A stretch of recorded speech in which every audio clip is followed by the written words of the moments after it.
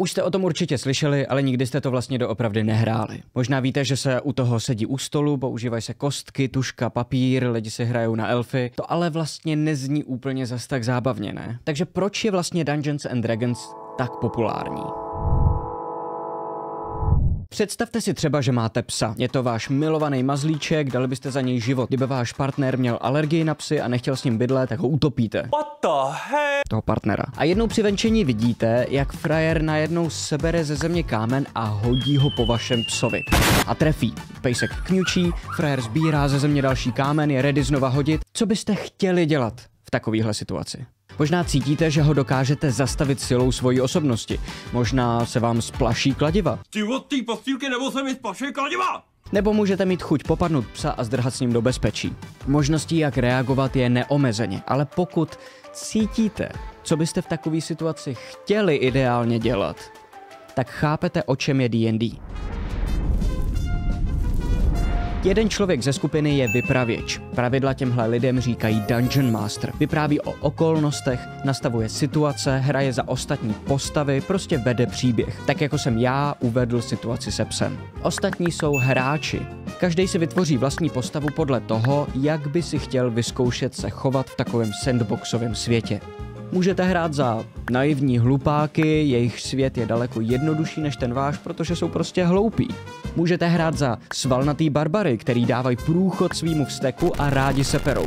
Můžete hrát alkoholického obchodníka, který se snaží založit biznis na tom, že prodává prázdné flašky od vína, má křivý nohy, neumí plavat, jeho rodiče jsou sourozenci a má paranoidní strach ze škrken. Můžete hrát někoho, na koho jsou jeho rodiče hrdí. Není to chaos? Jakoby je, ale ne zas takovej, protože pořád ještě existují nějaký pravidla. To hlavní je, že když chcete zkusit něco udělat, nemůžete si vybrat, jestli to vaše postava prostě zvládne a nebo ne. Hru vede vypravěč, ne hráč, takže když se pokusíte skočit z útesu a dole udělat prostě superhrdinský tříbodový doskok, tak to stejně pravděpodobně dopadne tak, že vás budou dole seškrabovat. Co je to tříbodový doskok? No to je v superhrdinských filmech, že jo? Když prostě superhrdina jako dopadne a udělá tohle. Tříbodový seskok. Jedna, dva, a tři. K tomu právě slouží tuška, papír a ty kostky. Když zkoušíte něco, co se vám nutně nemusí povést, jako třeba sestřelit jabko z hlavy goblina, který ho jste unesli a převázali ke kůlu a mučili a...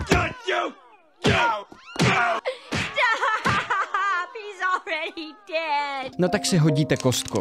Jestli jste dobrý lučišníci, přidáte si k tomu hodu velký bonus a jestli to držíte v ruce poprvé, tak si dost možná třeba nějaký číslo klidně ještě odečtete. Výsledný číslo potom určí váš úspěch nebo neúspěch. A to je všechno. Takže vidíte někoho hodit kámen po vašem psovi a zatímco v reálu byste prostě na něj třeba začali akorát řvát, v D&Dčku můžete použít kouzlo, ovládnout jeho mysl a nechat ho několik dní chodit za sebou a po vašem psovi sbírat exkrementy holejma rukama, aby si to pamatoval. Třeba.